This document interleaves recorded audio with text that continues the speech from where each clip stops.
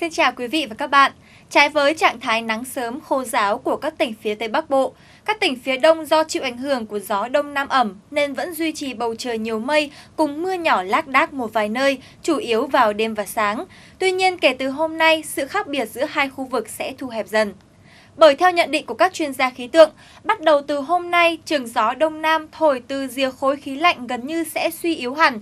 Trong khi đó, vùng thấp nóng ở phía Tây sẽ phát triển mạnh hơn về phía Đông. Do vậy, không chỉ phía Tây mà cả phía Đông Bắc Bộ đều có nắng. Cụ thể, nhiệt độ tại phía Tây Bắc Bộ sẽ còn tăng thêm từ 1 cho đến 2 độ nữa, lên mức từ 32 cho đến 34 độ. Số điểm nắng nóng 35 đến 36 độ sẽ xuất hiện nhiều hơn. Trong khi đó, với các tỉnh ở phía Đông Bắc Bộ, trời cũng sẽ có nắng từ sớm, nền nhiệt cao nhất trong ngày đều tăng. Ở khu vực Hà Giang, Cao Bằng và Bắc Cạn là những vùng chịu tác động của vùng thấp nóng phía Tây mạnh mẽ hơn cả. Nền nhiệt còn có thể cao tới 31 cho đến 32 độ. Những khu vực còn lại, nhiệt độ sẽ ở mức từ 29 cho đến 31 độ. Sang đến ngày Chủ nhật cuối tuần, nhiệt độ sẽ còn tiếp tục tăng thêm lên đến 32 cho đến 35 độ. Đặc biệt khu vực Tây Bắc bao gồm Lai Châu, Điện Biên, Sơn La và Hòa Bình còn xuất hiện nắng nóng với ngưỡng nhiệt lên cao từ 35 cho đến 37 độ trong ngày Chủ nhật và thứ hai đầu tuần sau. Thời tiết nhìn chung khô giáo và thuận lợi cho mọi hoạt động ngoài trời trong hai ngày nghỉ cuối tuần này. Tuy nhiên do trời nắng nóng đầu hè nên người dân cần chú ý bổ sung nước cho cơ thể và tránh ở ngoài trời quá lâu.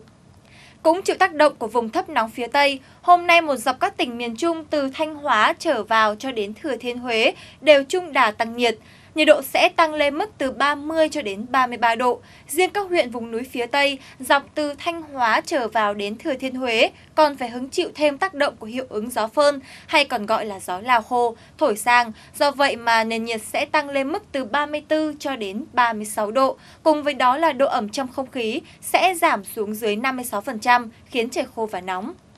Còn khu vực các tỉnh từ Đà Nẵng trở vào cho đến Bình Thuận, không chịu tác động của vùng thấp nóng nhưng do mưa không còn, gió đông thổi từ biển vào cũng yếu nên trời sẽ nắng nhiều hơn và nhiệt độ cũng tăng. Cao nhất trưa chiều nay ở các tỉnh từ Đà Nẵng cho đến Quảng Ngãi sẽ là từ 30 đến 31 độ, còn từ Bình Định cho đến Bình Thuận nền nhiệt sẽ nhỉnh hơn là 31 cho đến 32 độ.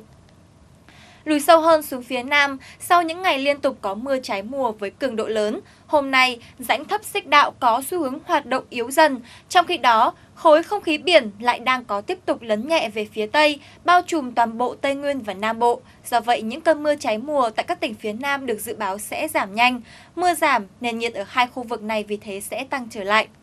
Cụ thể, nhiệt độ cao nhất trong trưa chiều nay ở Tây Nguyên sẽ lên mức từ 31 cho đến 33 độ, còn ở Nam Bộ nắng nóng cục bộ sẽ là 35 cho đến 36 độ, xuất hiện ở phía Đông Nam Bộ. Tại thành phố Hồ Chí Minh, nền nhiệt cũng sấp xỉ ở mức 34 cho đến 35 độ. Còn với khu vực miền Tây Nam Bộ, nhiệt nhiệt cũng sẽ tăng lên từ 32 cho đến 34 độ.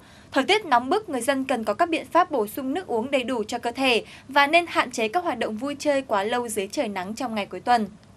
Đến chiều tối tại hai khu vực này vẫn còn khả năng chuyển nhiều mây nhưng không có khả năng mưa rông lớn mà chỉ là những cơn mưa rào và rông ở vài nơi, giúp cho nền nhiệt hạ dần về mức 21 cho đến 23 độ tại Tây Nguyên và từ 24 cho đến 26 độ ở các tỉnh thành Nam Bộ.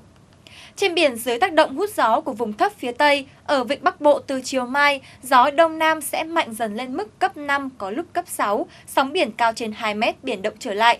Trong khi ở hai huyện đảo là Hoàng Sa và Trường Sa đều có chung trạng thái biển tốt, trời nắng, không mưa, gió hướng đông với cường độ yếu ở mức cấp 3 đến cấp 4, sóng biển thấp dưới 1,75 mét, biển lặng.